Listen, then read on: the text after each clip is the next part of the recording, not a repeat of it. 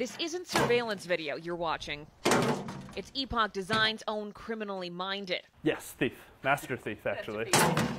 It's here in Redmond, on this post actually, That was longer than this has ever taken. that Chris Erickson has been testing mailboxes This one, I don't even need the screwdriver. in the name of product research. Rip the whole door off. We're roughly 20 feet from the front door of Epoch Design's Redmond showroom. This local company used to be known for their bunk beds.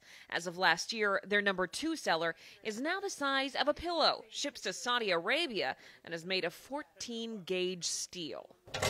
David Bowles invented the mailbox nearly 10 years ago when company checks started going missing from his box. not just once or twice, but repeatedly. He looked around, but says locking mailboxes were either too expensive or too cheap.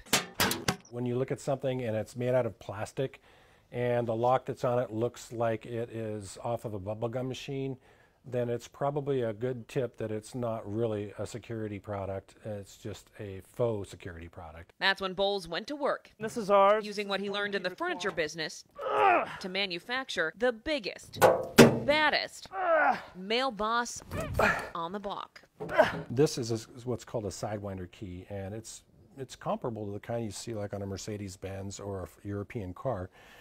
It's almost impossible to pick. From custom cut keys to hefty locks. This is actually the same kind of steel that you'd find like on a, a, a rent set. Bowles says his boxes will stand up to most any oh, criminal, It's everything I got. even with a three foot pry bar.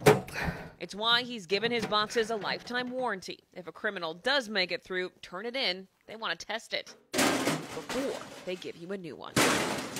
It's a product that you know is durable and is, has value to it, and you know in today's world, it seems like that's a rare commodity.